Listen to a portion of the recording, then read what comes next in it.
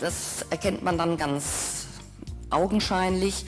Es ist eher verspielt, es ist leicht, es ist äh, luftig und ähm, Herr Lagerfeld, das sagt auch äh, das Label Chloe selber, ähm, hat eigentlich die wahre Identität von Chloe so richtig zum Leuchten und zum Vorschein gebracht. Äh, die Zeit, äh, in der Herr Lagerfeld für Chloe arbeitete, ist auch eine sehr bewegte äh, Zeit des letzten Jahrhunderts. Es gibt Studentenunruhen, sexuelle Revolution. Die Zeit ist einfach sehr bewegt und Herr Lagerfeld ähm, reagiert auf diese Umbrüche, was man in der ganzen Ausstellung sehen kann, dass Herr Lagerfeld ein großes Gespür hat für das, was Frauen von der Mode sich erträumen. Vielleicht wissen Sie das noch gar nicht so genau, das formt sich erst in der Gesellschaft.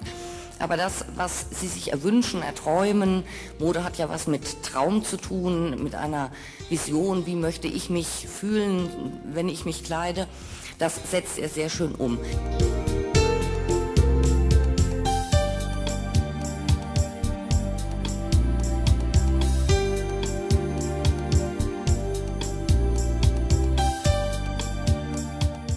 Chloe ist also das etwas romantischere ähm, Label sozusagen. Sehr witzig und sehr gut ankamen auch seine Entwürfe aus den 80er Jahren, die ähm, diese Duschköpfe oder Wasserhähne auf den Kleidern zeigten. Und äh, auffällig ist vielleicht auch ein Kleid, was eine Violine vorne auf dem äh, Brustteil hat.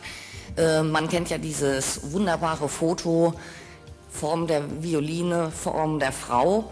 Und das zitiert er so geschickt, äh, dass der Frauenkörper mit der Violine geradezu im Gleichklang ist.